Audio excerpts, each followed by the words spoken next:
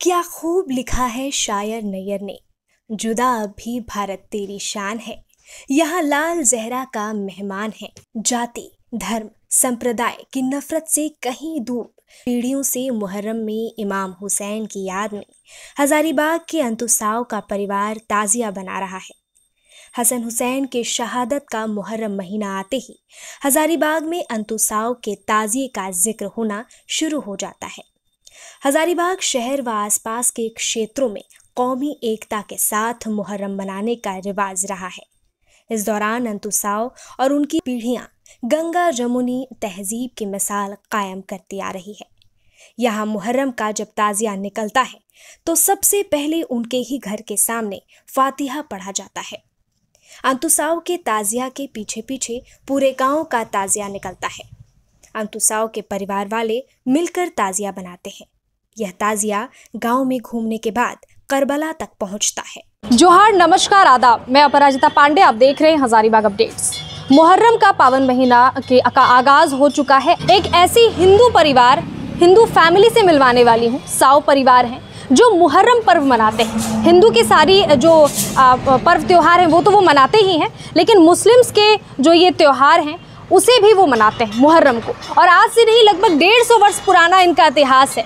यहाँ ताज़िया आप देख सकते हैं ये हर साल ये लोग नया बनवाते हैं।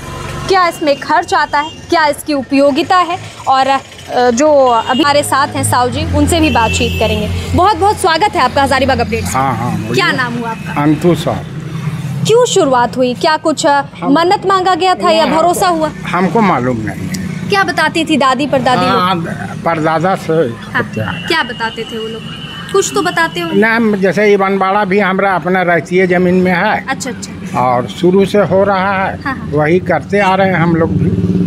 हम मैंने हम चौथा पीढ़ी है। चौथी पीढ़ी। और आपका बेटा लोग जो है वो पांचवी पीढ़ी पांचवी पीढ़ी। कितना पुराना है? सुनने में आता है डेढ़ सौ वर्ष पुराना। हाँ हाँ डेढ़ सौ पुराना। अच्छा कुछ तो कारण बताते होंगे। नहीं हमको कुछ मालूम मतलब क्या है कि इमामबाड़ा भी इनकी अपनी ज़मीन में इन्होंने आ, मदद करी है और साथ ही साथ ये ताज़िया भी हमेशा ये लोग बनवाते हैं। कितना खर्च आ जाता है इसको बनवाने में? मैंने दस बारह हज़ार पंद्रह हज़ार।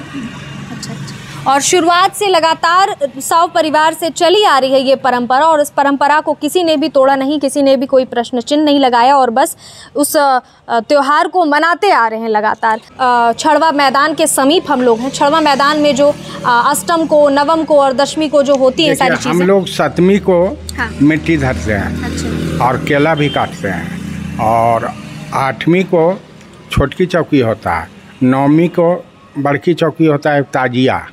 समझे ना? ये सब घर हमारा दरवाज़ा पर पहले फतिया होता है उसके बाद अच्छा। बस्ती घूमता है। उसके बाद इमनबाड़ा में ला के पूरे गाँव का आदमी अपना प्रसाद चढ़ाते हैं और उसके बाद फिर मेला लाते हैं छड़वा। और छड़वा से फिर घर जाते हैं उसके बाद शाम में करबला जाते हैं। अच्छा अच्छा। ये पूरी प्रक्रिया होती है? पूरी प्रक्रिया। और दस तक? दस तक। यही प्रक्रिया हाँ? हाँ हाँ। और जो निशान वगैरह है फतह वगैरह तो खैर हमारे पास तीन टो है। अच्छा। लेकिन हमारे पास आदमी का कमी है। इस वजह से निशान लाते हैं लेकिन इन साल नहीं लावेंगे अच्छा अच्छा अच्छा। पिछले साल तक लाए? हाँ।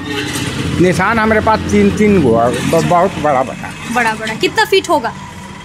मैंने पैंतीस हाथ का 35 हाथ। का। बाँस लगता है। अच्छा।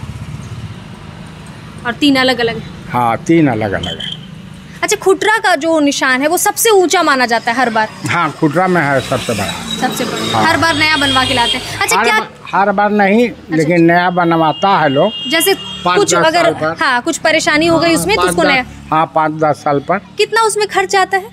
अभी तो खर्चा एक आध लाख रुपया आ जाएगा। हाँ हम भी बनाए हैं आज से चार पाँच साल पहले उसमें पचास हज़ार रुपया। उस समय पचास हज़ार। हाँ। अभी का अस्सी नब्बे हज़ार हो ही गया हाँ, पाँच छः साल पहले बनाए हैं। आपको बता दूँ निशान की बात हो रही है। वो एक तरह का फ्लैग होता है और यहाँ 22 गाँव का समायोजन होता है। आपने लाइव देखा होगा हजारीबाग अपडेट्स में। हमने छड़वा मैदान में समिति जो थी बाईस गाँव की सबसे बातचीत करी थी। वो जो निशान है उसी फ्लैग को बोला जाता है और बिल्कुल गगनचुंबी निशान होते हैं। बड़े बड़े निशान होते हैं और फिर लंबे लंबे बाँस को ला करके सके और उसमें लगभग लाख डेढ़ लाख ढाई लाख तक का खर्च चला जाता है। अच्छा इसका क्या इसकी क्या उपयोगिता है? ये और कहाँ से बनवाते हैं इसको? ये हम लोग अपने बनाते हैं। खुद बनाते हैं? हाँ हाँ हाँ हम लोग पूरे परिवार से घर के पूत लोग हाँ, मिल करके हाँ, सब कोई। चाची लोग कितना सहयोग करती हैं इसमें? चाची लोग हमारा एको नहीं रहा। अच्छा अच्छा। चाचा भी नहीं है चाची भी नहीं है। चाची लोग मतलब हमारी हम लोगों की चाची आपकी वाइफ हाँ उन लोग करता है सब करता है। करती हैं सब सहयोग करती हैं। ये सारा चिपकाना सारे हाँ। सामान आप लोग ला देते हैं फिर हाँ, साथ हाँ। में मिलके ये लोग सब सब करता हैं। कब से इसकी शुरुआत करने लगते हैं? मैंने इसको कल से हम लोग शुरुआत करेंगे। अच्छा कल से शुरुआत करें हाँ, अभी जैसे ये बनाया आपने कब बनाया? ये बनाए थे आज दो साल हो गया फरमा अच्छा अच्छा दो साल हो दो साल हो गया अच्छा अच्छा। और कल से इसकी शुरुआत हो जाएगी सप्तम से। जी आपके बेटे से भी बात करना चाहेंगे। भैया। जी कुमार साहू। राजू कुमार साहू जी। पिताजी ने, पिताजी को भी मालूम नहीं है कि क्या मन्नत मांगी गई थी या क्यों भरोसा हुआ मुहर्रम में। क्योंकि एक हिंदू परिवार में हिंदू त्यौहार पर्व को ही मनाया जाता है। मुहर्रम पर्व अगर डेढ़ सौ साल वर्षों से मनाया जा रहा है आपके परिवार में तो कुछ तो कारण रहा होगा।